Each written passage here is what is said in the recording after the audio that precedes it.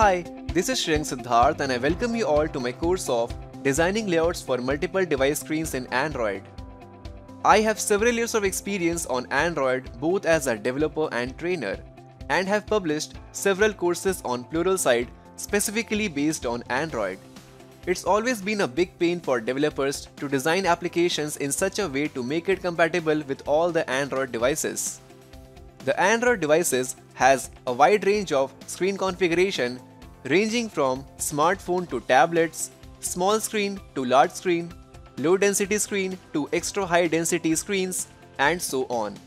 So practically, it becomes a real challenge for a developer to create layouts in such a way that it will make an user feel as if the application was designed for his own Android device.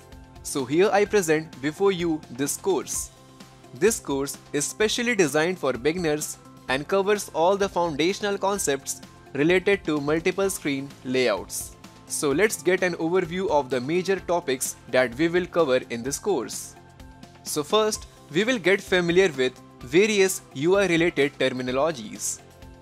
Understanding the best practices for user interface design, exploring resource directories for multiple screens, designing layouts for both smartphones and tablets, and at the end, we will check out another method of using layout aliases and resource configuration qualifiers to design layouts. And by the end of this course, you will be able to design layouts for multiple Android screens. So let's come together and accept the challenge to design layouts for multiple screens at Pluralsight.